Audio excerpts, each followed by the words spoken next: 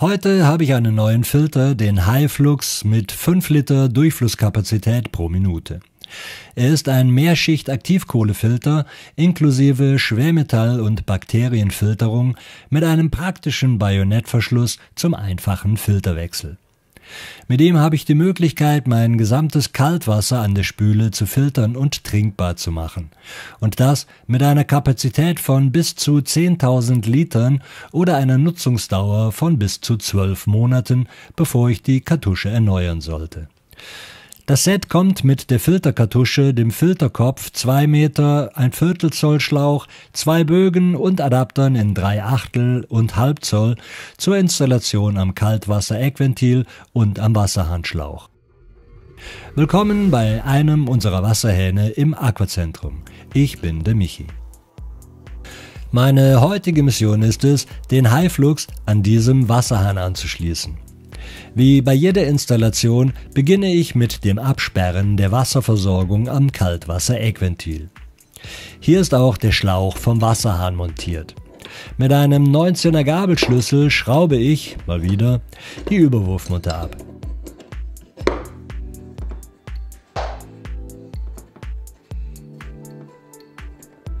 Heute ist mein Glückstag. Es kommt kein Wasser aus dem Schlauch. Das tut es nämlich sonst immer, weshalb ich ein Gefäß und Lappen empfehle. Ich suche mir einen guten Platz für den Highflux, wo ich zum Aufschrauben auch noch gut von unten an die Kartusche komme. Ich habe mir und für euch eine Bohrschablone gemacht, um die Positionierung der Schrauben einfach zu machen. Die Bohrschablone klebe ich mit Klebeband halbwegs gerade in Position und mache mit einer längeren Schraube oder einem Nagel eine Körnung, damit ich die Schrauben nachher leicht hineindrehen kann. Ihr seht, ich entferne die Bohrschablone und schraube die vier Schrauben 3,5 x 12 mm mit einem kleinen Akkuschrauber in die Schrankwand. Geht doch von Hand. Ich hänge den Filter mal probeweise dran. Weil er mir noch zu viel wackelt, schraube ich die Schrauben noch ein Stückchen weiter rein. So.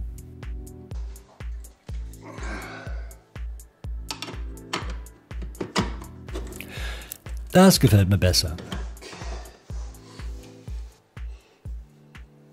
Hier könnt ihr sehen, wie einfach der Filter zu wechseln ist. Vor dem Filterwechsel müsst ihr natürlich das Eckventil schließen und den Druck oben am Wasserhahn ablassen. Diese Dichtungen bitte einmal kurz mit Wasser oder Speiseöl befeuchten. Dieses ist ein Standard 3 Achtel Zoll Eckventil. Deshalb nehme ich die Teile mit dem kleineren Durchmesser. Die mit dem größeren Durchmesser sind halb Zoll.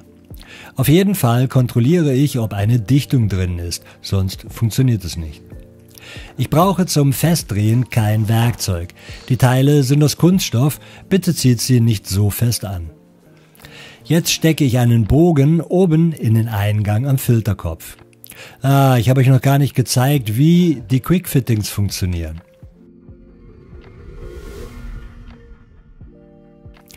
Um erstmal die Stöpsel zu entfernen, ziehe ich den blauen Sicherungsclip ab. Dann mit dem kleinen Gabelschlüssel, der mit dem Filter kommt, den Ring herunterdrücken und ich kann den Stöpsel herausziehen.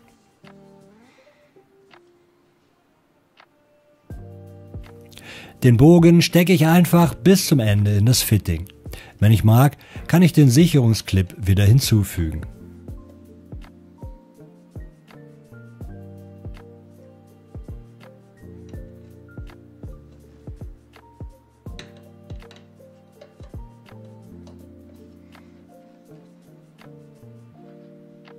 So sieht es bei mir unter der Spüle jetzt aus. In den Bogen stecke ich ein passend langes Stück Schlauch und dessen Ende kommt in den 3 Achtel Zoll Aufschraubverbinder.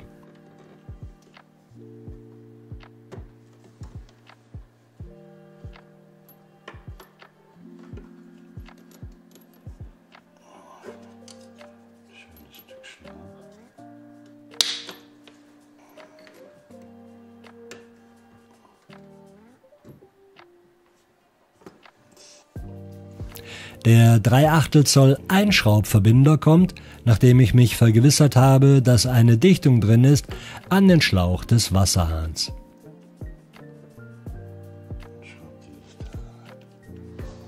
Hier benutze ich den 19er Gabelschlüssel, aber auch nur mit Fingerspitzengefühl. Bogen Nummer 2 kommt in die Ausgangsseite des Filterkopfes und wird mit einem passenden Stück Schlauch mit dem Schlauch des Wasserhahns verbunden. Mein Fokus bei der Verlegung der Schläuche ist, Platz und Ordnung zu schaffen.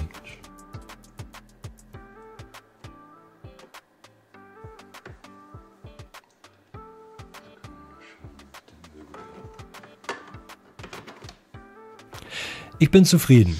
Jetzt öffne ich das Eckventil, um mal wieder zu sehen, dass ich gute Arbeit geleistet habe und alles dicht ist.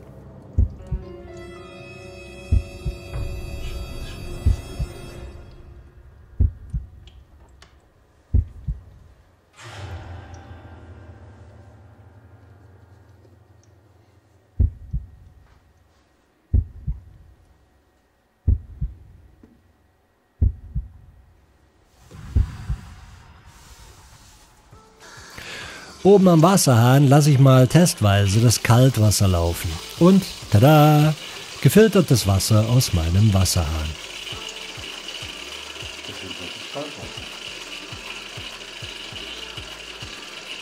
Zur Sicherheit kontrolliere ich nochmal alle Anschlüsse auf Dichtigkeit.